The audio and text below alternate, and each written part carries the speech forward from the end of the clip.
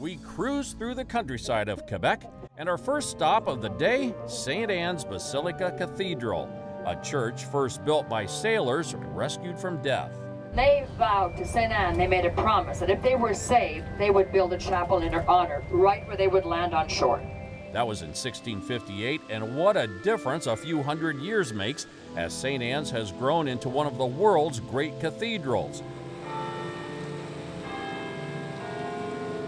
This latest reconstruction began in 1922 after another disastrous fire, and this is a testament to how faith and magnificence grows from the ashes.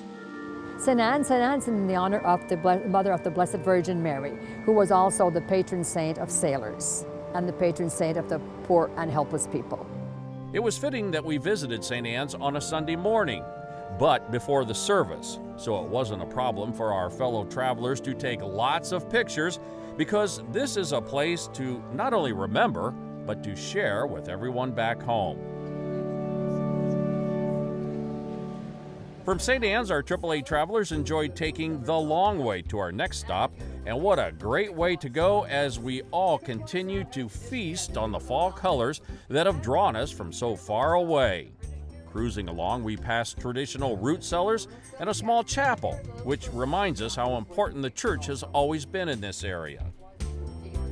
Time travels fast on this colorful caravan, and it's not long before we're back on the highway getting a sneak peek of our next stop the massive Montmorency Falls. What a monster! It's like there's so much water in Quebec, it just starts spilling out all over. Yeah, well, this is the end of the Montmorency River, where the Montmorency River comes through the natural fall through a land. 87 meters high are these falls, and they say when they're at their most powerful point, which is generally the springtime, they can shed as much as 125,000 liters of water a second.